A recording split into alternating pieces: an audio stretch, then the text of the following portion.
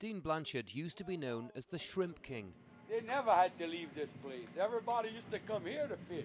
Now the boats that live here are having to go 12 hours away to catch any shrimp. I mean, it's a, it's a joke.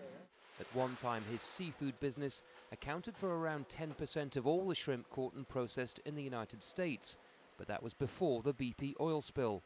Dean blames the disaster for shrimp disappearing along with his profits. Fresh drilling for oil is the last thing he wants. It's hard to sleep at night. I, I have no idea what to expect.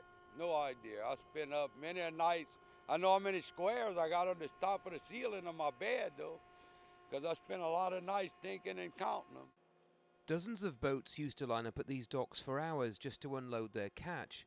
Now they're few and far between. People then are still struggling almost two years after the spill, but Big Oil says it now has its house in order.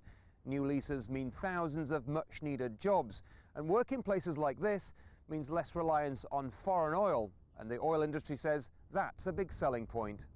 The US government says leasing more areas of the Gulf of Mexico for drilling is part of its long term plan for responsible oil production.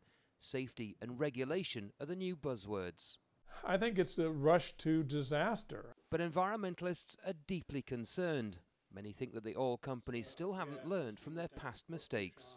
So, why the rush forward? Why are we pushing uh, forward when we don't have a clear idea on safety and on new regulations to make things work better. East breaks block 952. The Obama administration says this is an historic milestone for the region, and the oil industry is keen to build better relations.